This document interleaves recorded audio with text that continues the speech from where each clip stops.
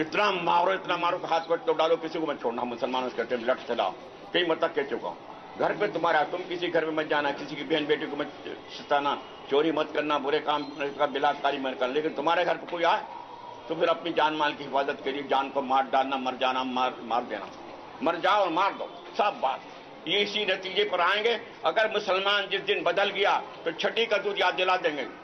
क्योंकि हमारी वतन के लोगों में इतने बहादुरी नहीं जो मुसलमान बहादुर है।